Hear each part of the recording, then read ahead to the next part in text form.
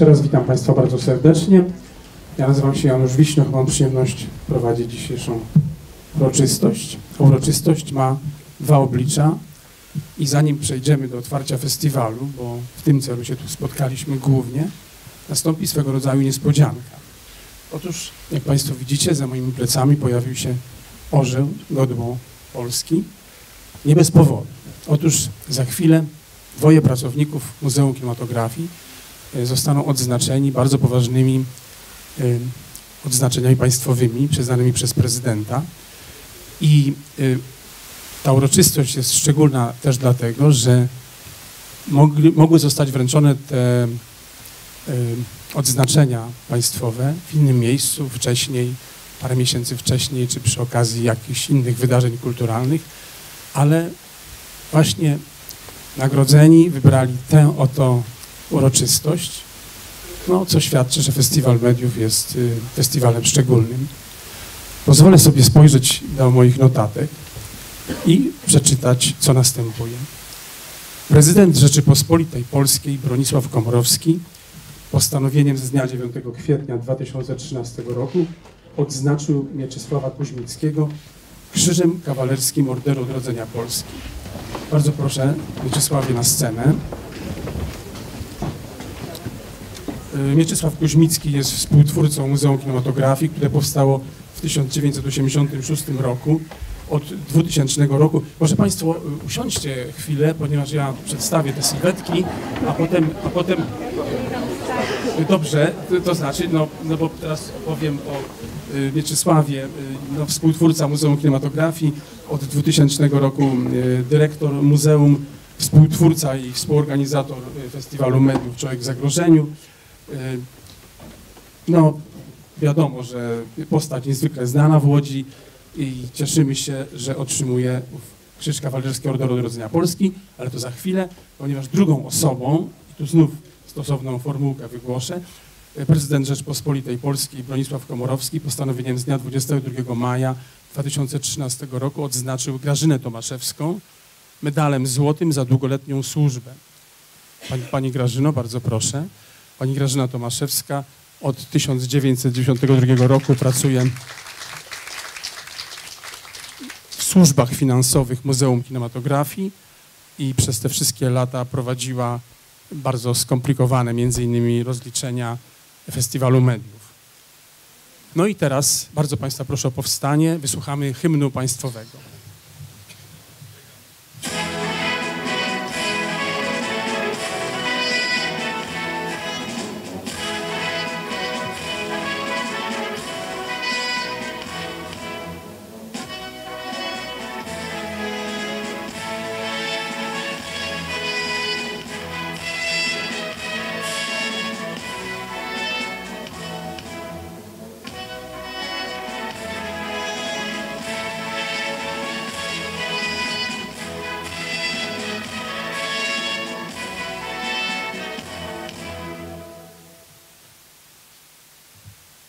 Proszę Państwa, poproszę teraz panią Jolantę Chełmińską, wojewodę łódzką, o wręczenie owych odznaczeń.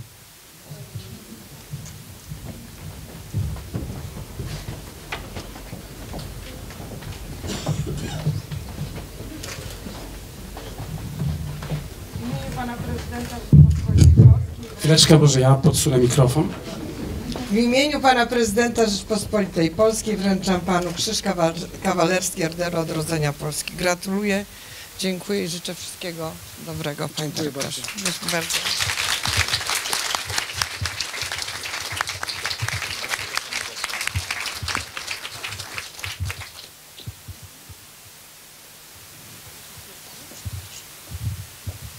Imieniu pana prezydenta Rzeczypospolitej Polskiej wręczam pani złoty medal za długoletnią służbę. Dziękuję za to bilansowanie się złotówek przy rozliczaniu. Wszystkiego dobrego.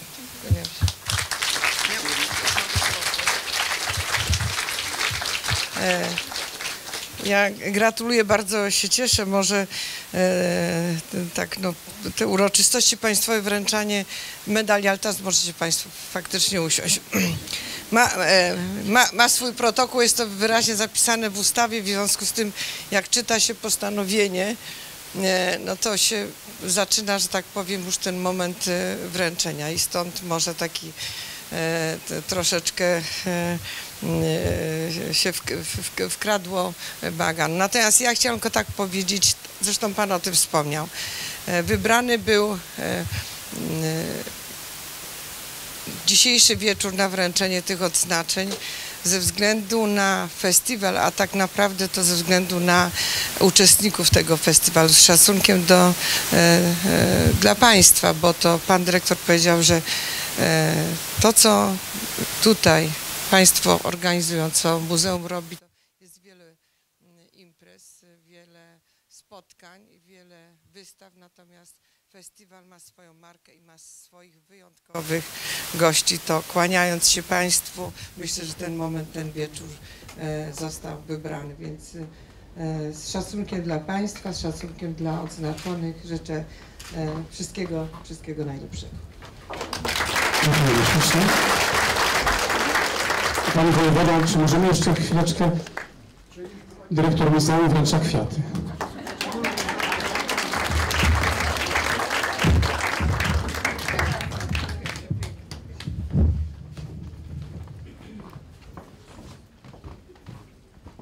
Szanowni Państwo, to była ta uroczystość bardzo poważna, a teraz zanim przejdziemy do nieco lżejszej muzy, y, pozwolimy sobie przedstawić Państwu kilka króciutkich filmów animowanych, żeby wprowadzić w nastrój festiwalu powoli. I to będą następujące filmy. Dobro, piękno i prawda w reżyserii Balbiny Bruszewskiej, produkcja Fundacja Filmowa Semafor. Następny film Up Owo w reżyserii Anity Kwiatkowskiej-Nakwi. Producentem jest y, Szkoła Filmowa.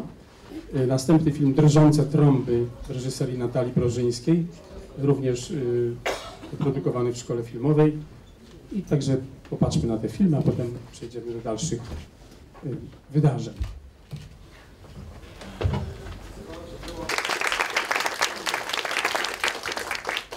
Nasza raz. Jeden, dwa, trzy. To była taka nasza uwertura. Proszę Państwa, y, pozwolę sobie teraz zaprosić na scenę dyrektora Muzeum Kinematografii, od dzisiaj kawalera, bo właściwie odznaczony krzyżem kawalerskim y, jest kawalerem. W ten sposób zresztą stał się kawalerem, chociaż się nie rozwiódł ze swoją żoną Anną. Kawalerze, bardzo prosimy o zabranie głosu. Bardzo dziękuję. Nie mogłem się doczekać, szczerze powiedziawszy, tego momentu, kiedy tu stanę na tej scenie. Wprawdzie zawsze stałem po tej stronie i, tym krzyżem. i ten. Moja żona twierdziła, że, no, że mogę spaść, ale jakoś mi się to y, nie zdarzyło. W związku z tym kolega stoi i też nie spadnie. Zapewniamy Państwa, że, że będzie nam y, szło chyba dobrze. Chciałbym mm, słowa powitania, bo właściwie to, to, to jako organizator, jako szef tej, tego, tego miejsca, muzeum, organizator festiwalu. Witam bardzo serdecznie wszystkich Państwa. Witam przede wszystkim twórców, producentów, realizatorów, współtwórców, bo właściwie bez Was, bez Państwa nie byłoby sensu robienia takiej imprezy. Patrzę po sali, właściwie co drugą osobę powinienem z imienia i nazwiska powitać, wobec tego nie będę tego robił. Proszę po prostu przyjąć, że wszystkich twórców witam jednakowo ciepło, serdecznie i z utęsknieniem, ponieważ zawsze cieszymy się, ja zawsze się cieszę, kiedy jesteście tutaj, a słowa te kieruję nie tylko do Państwa na tej sali, ale także do gości, którzy są na galerii. To nie znaczy, że to jest drugi garnitur, po prostu ja zawsze to mówię. Scheibler był strasznie skąpy i kiedy budował ten pałac, to nie przypuszczał, że będziemy tu się spotykać po to, żeby oglądać filmy i że w jego dawnej wozowni zrobimy sobie takie miejsce, miejsce spotkań. Muszę jednak powitać kilka osób w sposób szczególny. Zacznę od tego, że organizatorem, finansowym organizatorem, jeśli mogę użyć takiego słowa, tej imprezy jest miasto, miasto Łódź naturalnie, że y, głównym mm, partnerem finansowym jest Narodowe Centrum Kultury i że ten festiwal w tym roku wsparł, wsparły finansowo także sieć kin studyjnych i lokalnych oraz Getting Bank, a także fundatorzy nagród, ale myślę, że o tym to później jeszcze powie kolega przy okazji prezentacji jury, jury i nagród. Natomiast chcę powiedzieć, miasto jest głównym partnerem finansowym.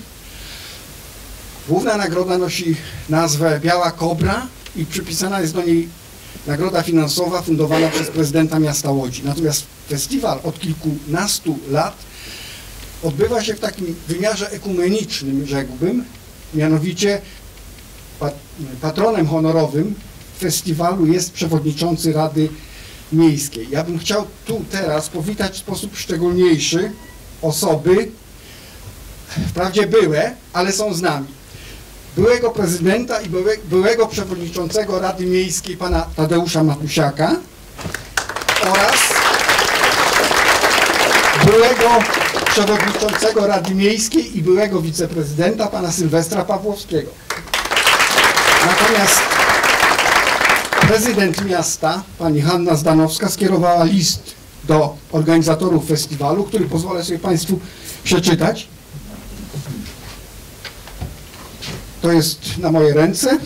Wszyscy uczestnicy i organizatorzy 23 Festiwalu Mediów Człowiek w Zagrożeniu. Szanowni Państwo, serdecznie pozdrawiam uczestników i organizatorów 23 Festiwalu Mediów Człowiek w Zagrożeniu. Miło mi powitać Państwa w Łodzi na imprezie, która szczyci się długą tradycją i bogatym dorobkiem artystycznym. Od ponad dwóch dekad twórcy festiwalowych produkcji zabierają głos w ważnych dla współczesnego świata sprawach. Prawdziwie opisują różne postawy człowieka uwikłanego w proces historyczny i odnoszą się do najważniejszych wartości etycznych.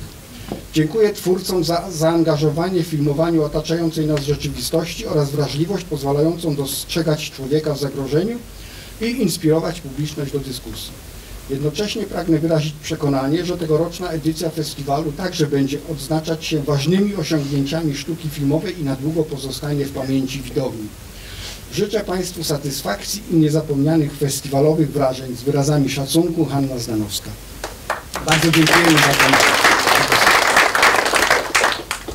Proszę Państwa, jeszcze przypomnę, że festiwal odbywa się po raz 23 że kiedyś y, miał swój początek w Łódzkim Domu Kultury, gdzie razem, ja razem z Markiem Millerem kierowałem tym festiwalem, ale Mieczysław, kawaler Mieczysław też jakby, przepraszam, y, tutaj, y, kawaler Mieczysław też dzielnie współtworzył, współorganizował. Potem, kiedy przejęło Muzeum Kinematografii, festiwal odbywał się on w kinie Polonia. No i dzięki Bogu od paru lat gościmy festiwal tutaj. Właściwie od początku festiwalu Y, bo niestety wielu odeszło na zawsze, niektórzy się wynieśli z Łodzi, niektórzy odeszli na emeryturę i przestali się tym trochę interesować. Y, od początku festiwalu jeszcze towarzyszy nam Andrzej Chętko, nie wiem czy jest na sali, który robi zawsze oprawę graficzną, plakaty, programy. Y, no i Zbyszek Dudek oczywiście, którego to Biała Kobra, stojąca tam, przepiękna rzeźba Białej Kobry, jest trofeum, o który co rok walczą um, twórcy. Pozwolę sobie teraz mm, przedstawić jury, jeśli Państwo pozwolą, żeby twórcy wiedzieli, kogo kochać bądź nienawidzieć. Otóż w jury zasiadają pani Krystyna Piątkowska, antropolog, etnolog, scenarzystka, wykładowca Uniwersytetu Łódzkiego. Jacek Bieleński, muzyk, scenarzysta, aktor, legenda łódzkiej sceny alternatywnej, czy też może bardziej enfant terrible łódzkiej sceny alternatywnej. E, Janusz Kołodziej, publicysta, krytyk filmowy, redaktor miesięcznika Telepro, przewodniczący jury, czyli on jakby najbardziej będzie tutaj zbierał cięgi. Janusz Połom, wspaniały reżyser, operator, profesor Uniwersytetu Warmińsko-Mazurskiego w Olsztynie. Wczoraj Janusz miał tutaj pokaz swoich filmów. Część z Państwa nam była, więc widzieli te wspaniałe osiągnięcia Janusza. No i biedactwo Zbigniew Wichłacz, który tam gdzieś na schodach siedział, aż wstyd, że to juror. Operator filmowy, profesor Państwowej Wyższej Szkoły Filmowej, Telewizyjnej i Teatralnej. No chciałem tak pieszczotliwie. Y, tak się składa, że z, z częścią jurorów miałem różne spotkania w życiu dziwne. Z Januszem Połomem mieszkałem kiedyś w hotelu asystenckim ze Zbyszkiem miałem robić film, ale nie doszło to do skutku. Natomiast y, jeśli jesteśmy przy Zbyszku, jego wystawa jest piętro wyżej, wystawa Bramy Miasta, która to wystawa dowodzi, że Łódź to Paryż Wschodu. Także polecam Państwu. Tyle o jury. Y, Nagrody, które zostaną wręczone. Oto y, nagroda prezydenta miasta Łodzi, czyli Grand Prix Biała Kobra, statuetka wspomnianego y, autorstwa Zbyszka Dudka oraz 10 tysięcy złotych, co jest miłą niespodzianką. Następna nagroda to jest Narodowego Centrum Kultury, Nagroda Cierpliwego Oka imienia Kazimierza Karabasza, też 10 tysięcy złotych. Nagroda Getin Banku 5 tysięcy złotych. Nagroda Stowarzyszenia Filmowców Polskich 6 tysięcy złotych. Nagroda Fundacji Monumentum Judaicum Lodzense medal. Nagroda imienia Aleksandra Kamińskiego y, Człowiek przezwyciężający zagrożenie 3 tysiące złotych. Nagroda Uniwersytetu Trzeciego Wieku imienia Heleny Krec. Jest to nagroda rzeczowa, dzieło sztuki tradycyjnie. No i zostaną też wręczone dyplomy honorowe jury. Y, Zobaczycie Państwo 40 filmów w konkursie. Tutaj chciałem dodać, że do konkursu zgłoszono 80 filmów, z czego zakwalifikowano połowę. Y, Liczne pokazy konkursowe, na które Państwa zapraszam, pokazy specjalne, seminaria, dyskusje, prezentacje, y, różne wystawy. I, I właśnie przed otwarciem kolejnej wystawy, która to otwarcie będzie miało niebawem miejsce, obejrzycie Państwo e, film, znaczy wystawa nosi tytuł Doświadczając miasta, a zobaczycie pa- Państwo film animowany Miasto płynie w reżyserii Balbiny Bruszewskiej, wyprodukowane przez Semafor. Także zapraszamy teraz na film.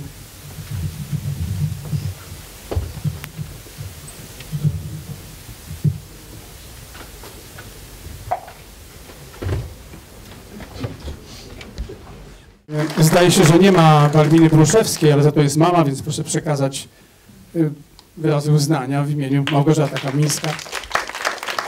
Proszę Państwa, tym z Państwa, którzy są spoza Łodzi, ja ten film widziałem pierwszy raz i tam się przewija słowo limanka. Y, To jest pieszczotliwa nazwa ulicy Limanowskiego i też dowiedziałem się, podobnie jak Państwo, że tam jest centrum sterowania światem, więc jadąc w Polskę proszę powiedzieć, że na Limanowskiego w Łodzi centrum sterowania światem. To ciekawe. Y, Film nas wprowadził w wystawę Doświadczając Miasta, a o wystawie poproszę, by powiedziała kurator tejże, Alicja Cichowicz.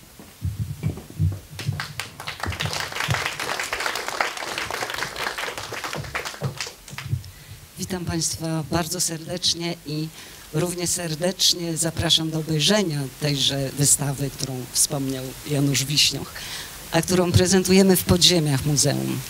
E, Jest to multimedialna wystawa zbiorowa, e, która ukazuje ciemne strony życia w wielkim mieście, problemy dotykające współczesnych mieszczan. A szerszy jej opis znajdziecie Państwo w katalogu festiwalu albo też na afiszu wiszącym na jednej ze ścian ekspozycji, Yy, bo nie chcę zawierać, zabierać Państwu więcej czasu. Natomiast wystawę tę współtworzy pięcioro artystów. Izabela Maciejewska, zapraszam na scenę. Absolwentka dwóch łódzkich uczelni. y, ASP imienia Władysława Strzemińskiego oraz filmówki. Artystka multimedialna, która tworzy fotografię, instalacje, sztukę wideo oraz rzeźbę. Motywem przewodnim jej prac jest idea transgresji, przenikania się światów, yy, przenikania się form. Jest uczestniczką wielu wystaw i laureatką wielu nagród, ale szersze biogramy znajdziecie oczywiście Państwo w katalogu festiwalu. Marek Domański. Zapraszam na scenę. Absolwent ASP. e, Obecnie jest adiunktem w Katedrze Multimediów w tejże uczelni. Zajmuje się e, fotografią e, dokumentalną, otworkową, inscenizowaną. Jeśli chodzi o fotografię otworkową, oczywiście kamery otworkowe buduje własnoręcznie. Jest również kuratorem i animatorem wielu projektów dokumentalnych. Józef Szymura. Zapraszam Państwa. Absolwent e, łódzkiej filmówki, operator filmowy, autor zdjęć do wielu filmów dokumentalnych, między innymi do schizofrenii i po tamtej stronie Wity Żelakewiczute, Daszy Barbary Pawłowskiej czy skazanych na śmierć Wiesława Palucha. E, Jest także uczestnikiem wypraw m.in. do Wenezueli, Brazylii, Ekwadoru, Peru, Tajlandii, Etiopii. E, Jako operator cyklu podróżniczego Wojciecha Cejrowskiego Boso przez świat. Ale jest także uczestnikiem wielu wystaw fotograficznych, między innymi e, kilku ekspozycji organizowanych przez Goethe Instytut e, we Francji, Indiach i Stanach Zjednoczonych. Kolejnym artystą jest niestety, znaczy kolejnym artystą jest Artur Przewindowski, niestety nie mógł przybyć do nas, ponieważ leży teraz w łóżeczku z gorączką. Absolwent krakowskiej ASP, twórca znakomitych obrazów, które cechuje wielopłaszczyznowość, przenikanie się kilku e, perspektyw i planów, multiplikacja oraz wrażliwość na kolory światła. Zobaczycie Państwo te obrazy na własne oczy za chwilę. Jest również uczestnikiem oczywiście wielu wystaw, jak każdy artysta, e, laureatem wielu prestiżowych nagród, między innymi Grand Prix Ministra Kultury i Dziedzictwa Narodowego na 23. Festiwalu Malarstwa e, Współczesnego w Szczecinie w 2010 roku. E, I ostatni artysta, Pablo Jacob, który niestety również do nas nie dojechał, bo mieszka w Rio de Janeiro. Jest on absolwentem Universidade Estacio de Sa oraz College of Santa Monica w Los Angeles w Kalifornii. E, Pracuje e, od 2008 roku jako fotoreporter słynnego brazylijskiego dziennika Jornal o Globo. E, Natomiast artystę reprezentuje Anna Hamerski-Freeman.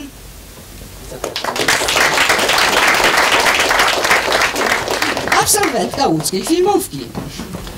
Znakomita tłumaczka, która no, dała mi niesamowitą pomoc przy organizacji wystawy Pabla Jacoba, jako że e, Pablo słabo mówi po angielsku, ja nie znam portugalskiego, on nie zna polskiego, natomiast Anna włada wszystkimi tymi y, językami. To Anna także pokazała mi pracę kilku fotografów brazylijskich, a mój wybór padł na Pabla Jacoba. Dziękuję.